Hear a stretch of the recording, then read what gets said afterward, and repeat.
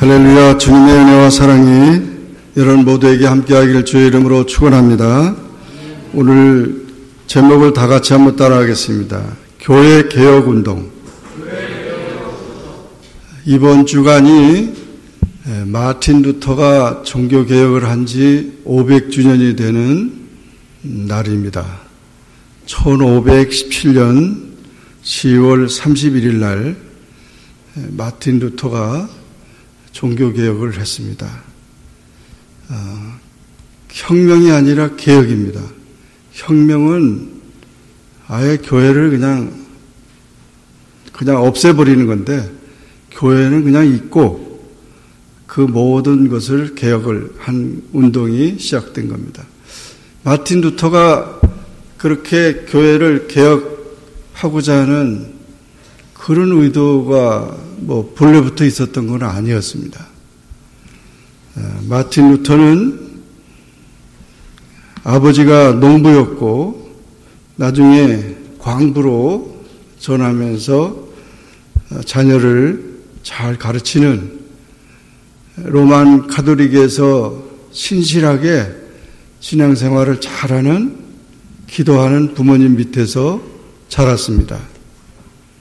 그래서 학창 시절에 공부도 잘했고 또 어, 많은 그런 신앙적인 영향도 받았는데 앞으로 법률가가 돼서 어, 귀한 사회에 공헌하도록 그렇게 부모가 아, 지도를 했습니다.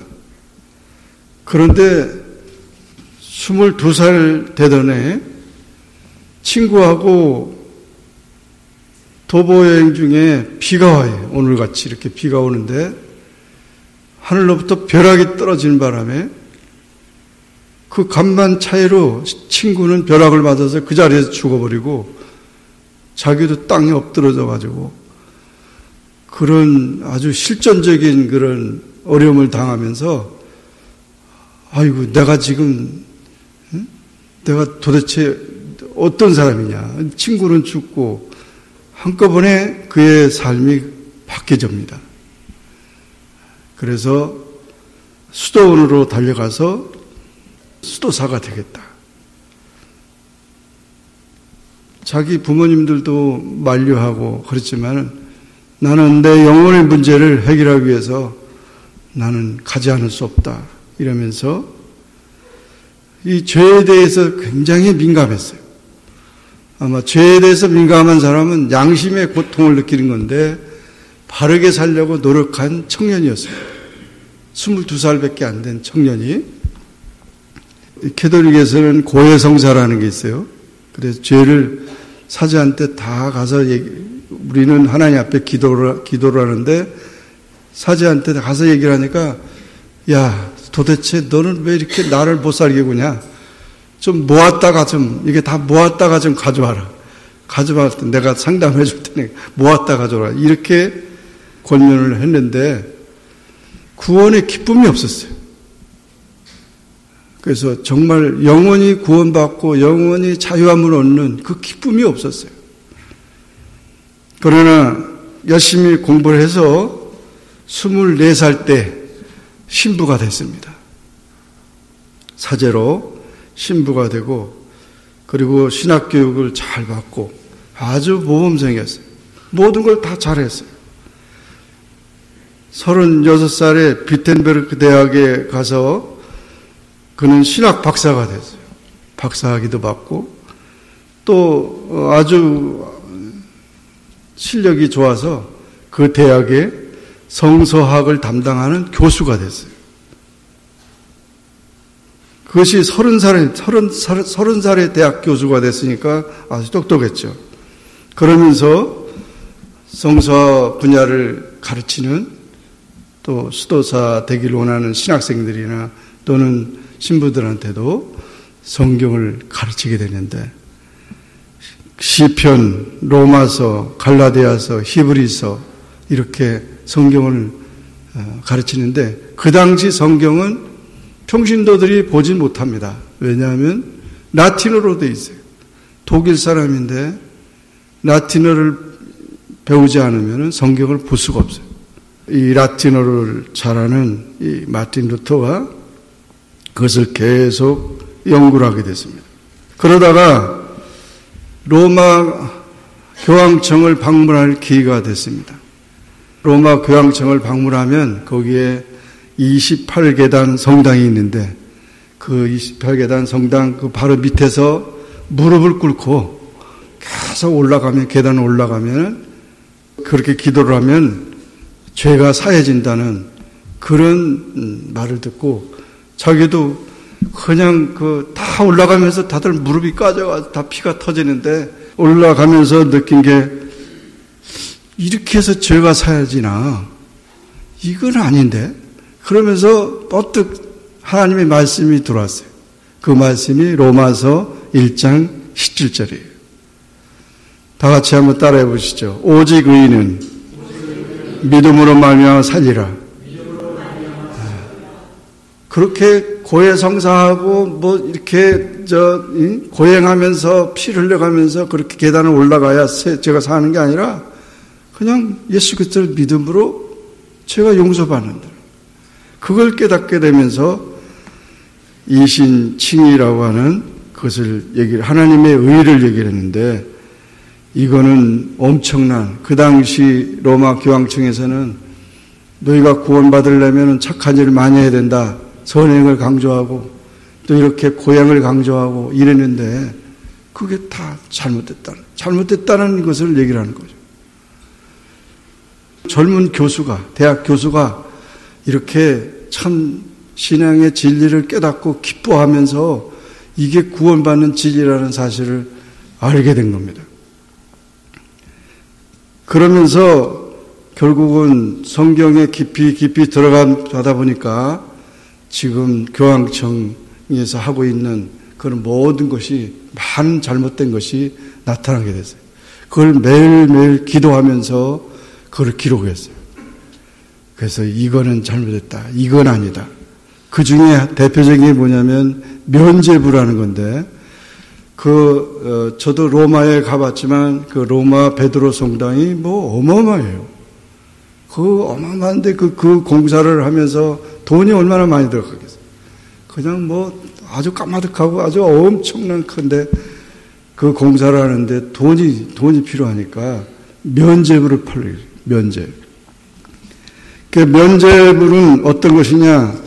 어떤 사람이 구원받을 만한 선행을 쌓지 못했다면은 교황이나 로마 교회를 통해서 다른 사람의 선행을 사는 것입니다. 그 선행을 사면 내가 천국 가기에 모자란 선행이 더해지게 천국 갈 수 있고 구원받을 수 있다고 가르쳤던 것입니다. 그러니까 어 그래 돈 가지고 구원받을 수 있어? 그러면은 뭐 어? 그 천국 가는 티켓을 판 거죠. 그 티켓을 받, 받으면서 어떤 사람들이 그냥 술 취해가지고 막 이러면서 야, 어, 왜 이렇게 망나니 같이 그래? 야, 나 천국 가는 티켓 있어. 이거 있으니까 나는 어? 문제 없어. 이러면서 주장을 했다는. 그것을 보았던 마틴 루터는 34살 때, 34살 때 자기가 가르치는 비텐베르크 대학 정문에다가 교황에 대해서 95가지, 95개조라는 건데, 95가지 그 대자보를 갖다가 그냥 다, 물론 그거는 라틴어로 돼 있어요. 라틴어로 이렇게 해서 교황 보라. 교황한테, 그러니까 이 일개 아주 그냥 밑에 있는 졸개 신부가 교황한테 그냥 도전장을 낸 거예요. 그 당시 교황은 뭐 세상의 왕들보다도 황제보다도 유럽 전체를 다 지, 세계를 다 지, 지, 지배하는 그런 고난을 가지고 있었어요. 그리고 한마디에 그냥 저는 불태워라 그러면 다 불태워주고 많은 사람들이 그 대항하는 사람들이 죽었습니다. 그러면서 그거를 이제 대자보를 했는데 마침 그때 독일의 구텐베르크가 인쇄술을 발견을 해가지고 이 카피 술이 일어나게 됩니다. 그리고 독일어로다가 그 95개 조항을 전부 설명해가지고 다 이제 알려준 겁니다. 그렇게 하면서 독일 전역에 퍼지게 됐고 그러나 교황 레오 10세는 내가 60일 동안 두 달 동안 여유를 줄 테니까 내 주장을 처리하라. 내가 쓴 책을 다 취소하고 내 말이 틀렸다고 그렇게 많은 사람들한테 공표하라는 겁니다. 만약에 그렇지 않으면 너는 불태워 죽인다. 그래가지고 이 파문장을 받고도 어, 이 마틴 루터는 나는 하나님 앞에 양심적으로 하나님 말씀 앞에 양심적으로 부끄러움이 없다고. 그 로마 교황청에서 온 그 파문장을 갖다가 다 찢어버리고 다 불태워버렸어요. 죽으면 죽겠다는 거죠. 이 얼마나 대단합니까? 자기 목숨을 걸어놓고 그냥 이 진리를 지키지 않으면 안 된다. 그리고 이 모든 사람들을 해방시키지 않으면 안 된다. 그렇게 했는데 결국 이 교황청은 루터는 이단이라고 하고 신부를 박탈하고 그리고 화형에 처하라고 황제한테 얘기를 했어요. 근데 황제가 또 그 말을 들어야 될 거 아니에요. 황제가 또 어, 루터를 불러다 놓고 제발 나, 나, 나도 곤란하니까 그 주장을 철회만 하라. 그렇게 안 하면은 당신은 살 테니까 그러는데 그런데 그때도 담대하게 나는 절대 그럴 수 없다고. 절대 포기할 수 없다고. 그러면서 결국 이 황제의 보호를 또 못 받게 된 거예요. 그러나 죽이려고 했을 때 다른 사람이 그를 보호하게 된 겁니다. 비밀리에 그가 보호하면서 책을 쓰게 됐고 그것이 이제 전파되면서 유럽 전역으로 나가게 됐고 9개월 동안 그렇게 숨어 지내면서 신약 성서 독일어를 번역을 했어요. 그러니까 정말 성경이 이렇게 번역이 된다는 거 과거에는 성경을 번역했다고 너 이단자다 그래가지고 그 사람을 잡아다가 불태워서 어? 죽이고 막 그 핍박하라고 이랬거든요. 성경을 아무나 막 그냥 번역을 한다. 그러나 결국 루터는 그와 같이 자기의 모든 목숨을 내걸고 어, 이런 이렇게 시작한 것이 우리 기독교의 이제 대, 개혁이 일어나게 된 겁니다. 그래서 결국 캐도리 로만 캐도릭하고 이렇게 신교가 갈라지게 돼서 루터파 교회가 생겼고 그 다음에 이제 칼빈, 뭐 즈빙글리 또 많은 사람들 또 영국에 또 웨슬레 뭐 이렇게 가지고 지금 많은 교파들이 생기게 된 이유가 어떤 분들은 그래요. 어, 캐도릭은 교, 교단이 하나인데 왜 이렇게 이건 교타, 교파가 장로교, 뭐 감리교 이렇게 많느냐는데 바로 그것 때문에 Roman Catholic 때문에 Catholic Catholic이 그 막 잡아서 죽이려고 그러니까 다 숨어서 그래 신앙생활을 하니까 오늘 이렇게 된 겁니다.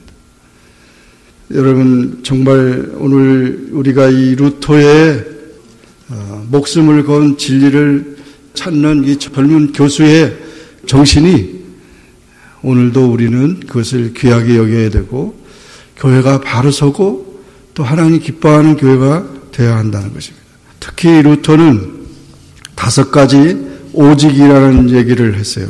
한번 따라해 보시죠. 오직 성경, 오직 그리스도, 오직 은혜, 오직 믿음, 오직 하나님께 영광. 네, 숄라라고 하는 이 다섯 가지. 오직이라는 말이 굉장히 중요한 얘기예요. 오직이라는 말은 같이 이렇게 합쳐서 그런 게 아니고 바로 그거라 이거죠. 바로 그거. 올리, 올리라고 하는 거죠. 올리라고 하는 건 일방통행이잖아요. 그죠? 일방통. 그래서 그것을 강조하면서 우리 개신교가 시작됐는데 로만 캐톨릭에서는 우리 개신교를 이단이라고 이렇게 규정을 했지만은 그러나 어, 하나님의 말씀에 입각해서 개혁이 일어나서 오늘까지 이렇게 예, 된 것입니다. 오늘 우리는 그것을 귀히 여기면서 오늘 본문에 있는 말씀을 잠깐 또 어, 보겠습니다. 본문에 있는 말씀은 예수님께서 바리새인들과 서기관들 이런 사람들과 같이 대화하는 가운데 그들의 질문을 받았습니다. 어떤 질문을 받았냐면 왜 요한의 제자들과 바리새인들은 금식을 하는데 금식을 하는데 당신의 제자들은 금식하는 게 못 봤다 이게.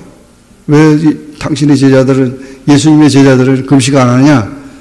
그러니까 두 가지 비유를 들었어요.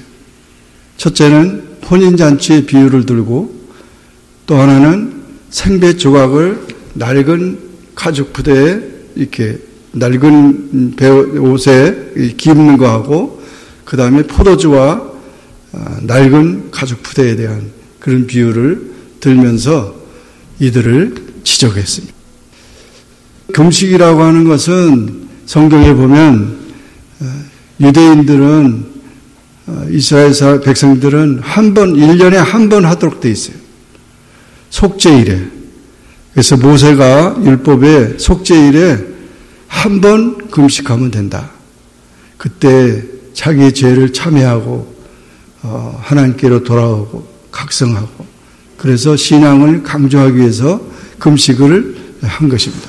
그 금식의 목적은 사실은 기도를 더 어, 깊이 하기 위한 것이고 또 하나님과 관계를 정상화하기 위한 그런 수단이었습니다.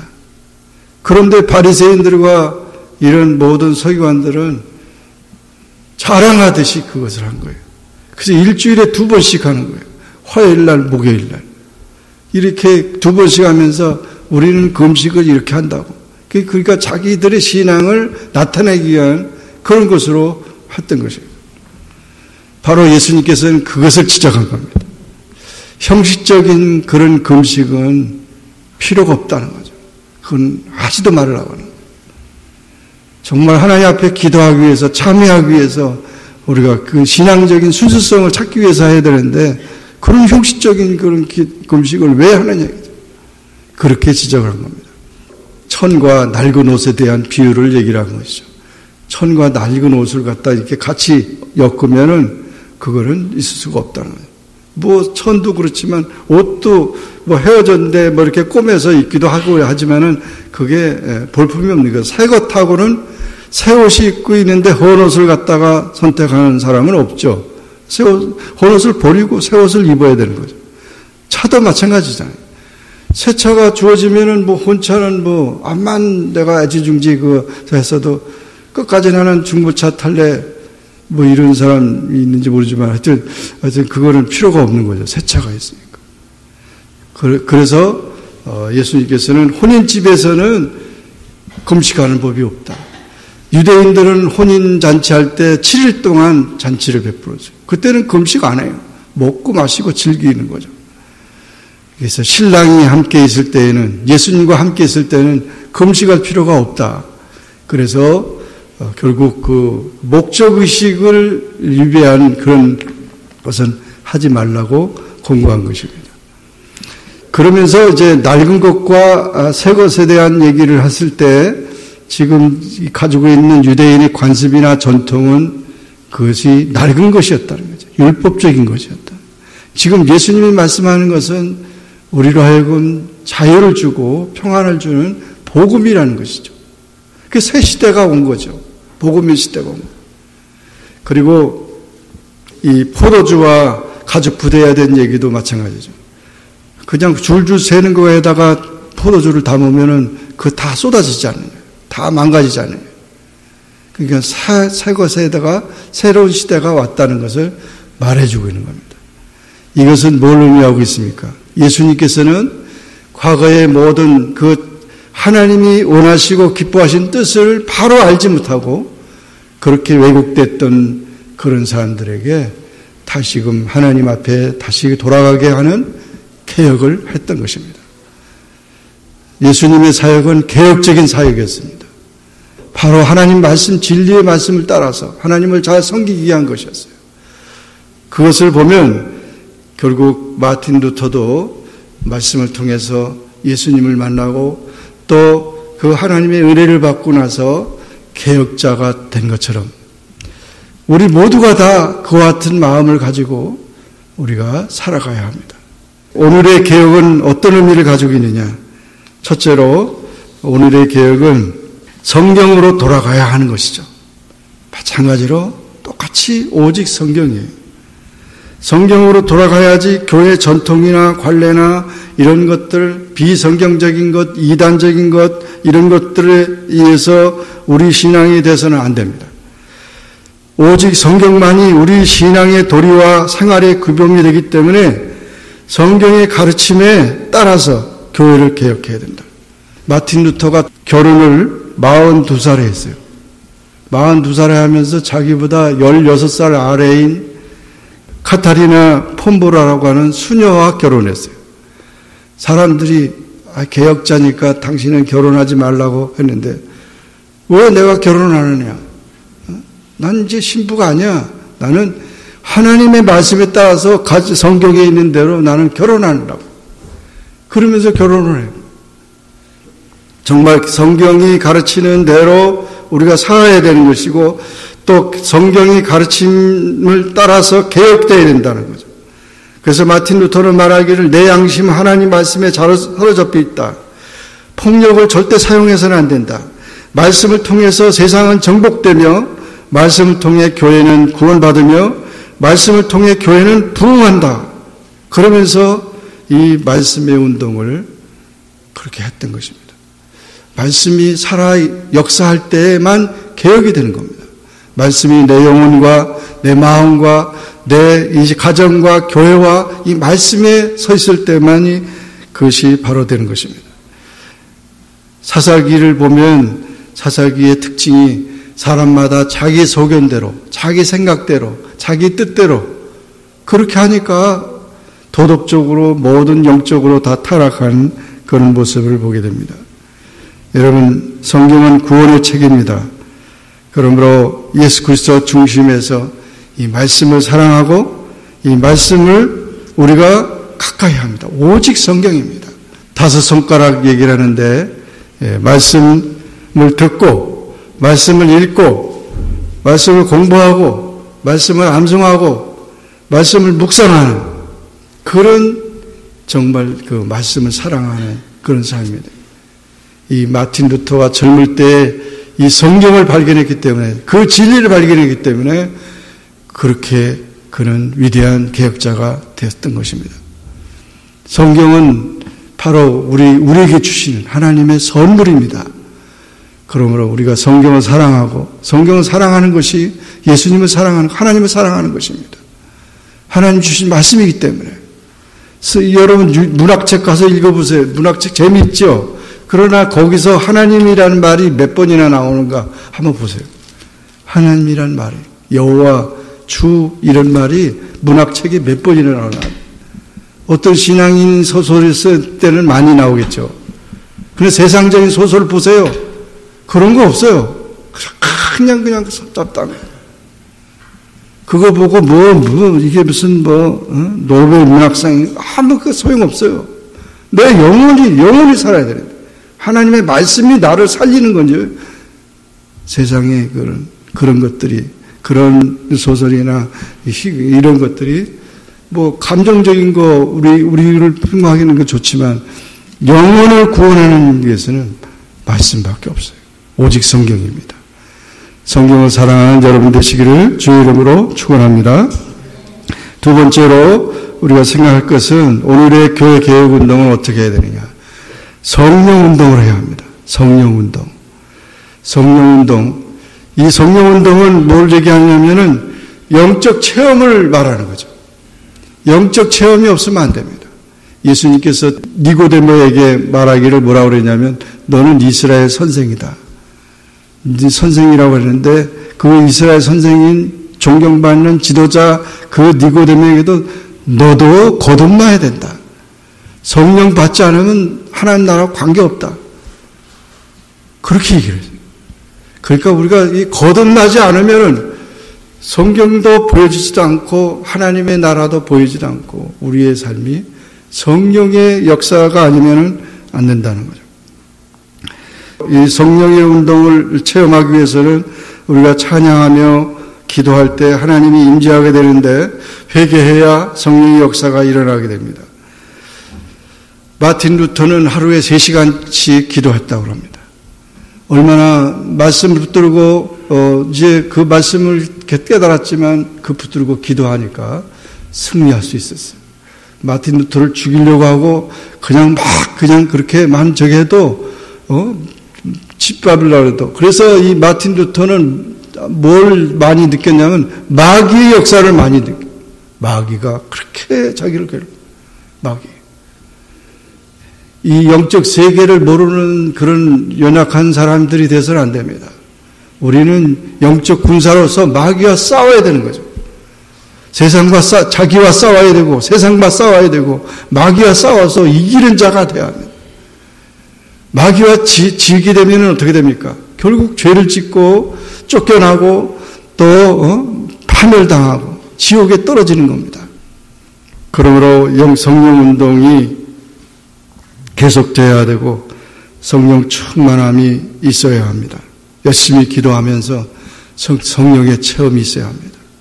이 성령의 체험으로 인해서 담대하게 그 세상이 죽음이 두려지 않고 담대하게 나가서 승리했던 것을 기억해서 성령 운동을 영적, 영적인 개발을 하고 성령 운동을 더 체험하는 것이 되어야 합니다. 지금 요즘에 테러가 뭐 위험하다 그러고 막 이렇게 벌벌 떨고 그렇지만 성령의 역사를 받는 하나님의 성령이 너에게 임하시면 너희가 권능을 받는다. 그래서 정말 하나님의 자녀로서 우리가 보호받고 강한 자가 된다는 사실을 믿으시고 하나님의 점심갑주로 무장해서 성령 충만한 그런 성도가 되시기를 주의 이름으로 축원합니다. 마지막 세 번째로 오늘의 교회 개혁 운동은 성결 운동이어야 합니다. 성결 운동. 지금 네, 오늘날 가장 그뭐 어, 예전에도 그렇지만 성경에도 나타나는 것 보면 세속화가 문제예요. 세속화가 어, 세상 사람들하고 그냥 똑같이 돼 버리는 거죠. 우리는 구별된 자고 예수 그리스도의 피로 말미암아 구원받아서 하나님의 자녀로 성별된 자입니다. 주님이 심판하실 때 우리는 알고 기대야 되지 쭉정이가 되면 안 됩니다. 그런데 지금 세상에는 너무 유혹들이 많아요. 얼마나 유혹들이 많은지 몰라요. 요즘에 뭐 미국도 그렇잖아요. 지금 동, 동성 결혼을 다 통과시키고 동성 결혼을 통과시킨 나라가 35개 나라예요. 그리고 17개 나라는 동성 결혼한 자가 아이를 입양해 가지고 남자끼리 있는데 아빠 엄마 뭐 이러고 이래요. 이런 세상이라고. 그러니까 하나님이 가장 귀히 여기는 것은 가정과 교회입니다. 근데 마지막 때이 가정과 교회를 파괴시켜요. 그것이 바로 부패된 그런 것이 되죠. 그뿐입니까? 또 마약, 마약을 또, 이, 지금, 미국에도 마약을 허용한 주가 벌써 20개 주가 넘어. 그러니까 자꾸 세상에는 여러 가지로 유혹이 되고 있고, 중독이 얼마나 많은지 모릅니다. 이런 속에서 우리가 세속 속에서 살려면 성결하지 않으면 안 돼. 하나님께서 우리를 제자로 불렀기 때문에 어떤 사람은 제자가 사람 제자가 된 사람이 있어요. 술 좋아하는 사람 따라가면 술 제자가 되는 거예요. 술 취한 주, 정부의 제자, 제자가 되는 거예요. 그 마약하는 사람 따라다니면 마약하는 자가 되는 거예요. 우리는 어떤 사람의 제자가 된 누구를 따라가느냐 지금 누구를 따라가느냐 우리는 오직 예수님만 따라가야 될 줄로 믿습니다. 예수님의 제자로서 살아요. 예수님의 제자로서 우리는 서야 되고 끝까지 예수님의 제자로서 다른 사람들 예수님의 제자로 세워야 되는 거지. 누구 사람의 제자가 되면 안 돼요. 그러므로 우리는 이 세속적인 사회에서 성결한 자로서 하나님 앞에 서야 됩니다. 하나님이 기뻐하시는 것은 우리가 깨끗한 그릇이 되기를 원해요.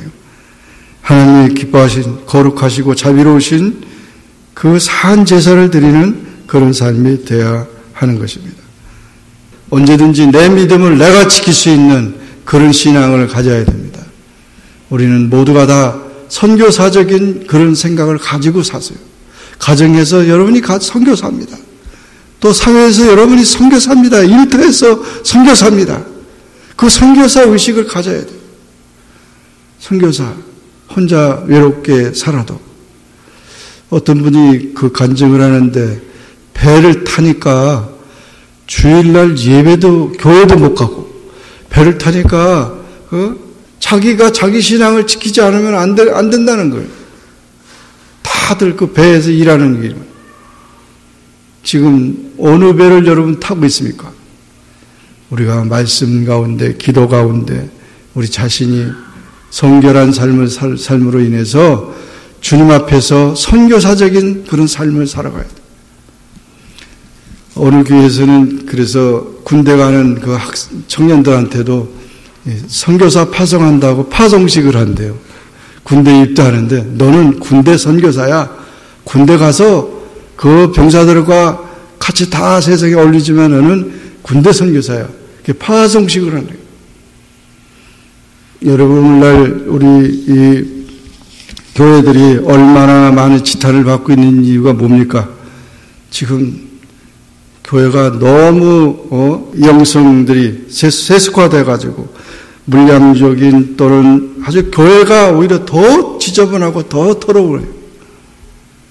물질 문제, 무슨 이성 문제, 뭐 보통 문제가 아니에요. 더 욕심이 많고 더뭐 모든 타락된 요소가 교회 안에만. 이런 모든 것들을 보면서 우리가 깨끗하고 아름답고 크게 큰 것이 중요한 게 아니라 정말 성결한 그런 하나님의 백성들을 하나님이 찾으시는 겁니다. 청교도 운동들이 일어난 이유가 뭡니까? 그들이 순수한 신앙을 찾기 위한 것이고, 이 미국에 왔던 우리 메노나이트 교단도 마찬가지지만 다 신앙을 지키기 위해서 찾아왔던 그런 순수성이 있는 거 아닙니까? 그 순수성이 사라져버리면 안 돼요. 이와 같이 복음에 합당한 삶이 되어야 되고 우리는 세상에 빛과 소금의 역할을 감당하는 그런 교회가 돼야 합니다. 오히려 세상이 교회를 걱정하고 염려하고 너나 예수 잘 믿으라고 이렇게 얘기를 하면 되겠어요? 우리, 우리의 삶을 통해서 많은 사람들이 아, 당신이 믿는 예수 나도 믿고 싶다고 이러면서 교회를 나오게 해야 되는데 너나 예수 잘 믿으라고 이것이 바로 어, 세속화된 오늘의 이 현실이 가르치져가고 있는 것입니다. 이 사실을 기억하고 개혁교회는 계속 개혁돼야 합니다. 마틴 루터가 그 젊은 혈기로 그랬던 그런 정신은 지금도 살아야 되고 오늘날도 계속해서 우리도 그것을 본받아서 예수님을 닮은 그런 지도자로 사시기를 주의 이름으로 축원합니다. 기도하겠습니다. 사랑의 하나님 아버지 감사합니다. 오늘도 주님 앞에 나와 기도하게 하시고 주의 말씀을 상고하게 하시니 감사합니다. 아, 이번 주간에는 1517년 10월 31일 날 이렇게 젊은 마틴 루터가 복음의 진리를 선포하며 자기 생명을 내걸고 피를 토하면서 부르짖었던 그런 어, 종교개혁이 이제 500주년이 되었다고 다들 아, 말하는데 마틴 루터처럼 우리도 하나님의 말씀을 바로 깨닫고 예수님이 진정한 개혁자고 예수님을 통해서 우리가 가정이 바로 서고 또 우리 사회가 바로 서고 교회가 바로 서서 하나님 기뻐하는 귀한 역사를 이루어갈 수 있도록 끝까지 주님 오실 때까지 하나님 나라를 위해서 우리가 성령운동, 성령운동, 성결운동을 힘써서 주님의 크신 역사를 이루어가는 우리 한 성도들과 우리 모든 성도들이 되도록 또 모든 교회들이 되도록 하나님 축복하여 주시옵소서. 예수님의 이름으로 기도하옵나이다. 아멘.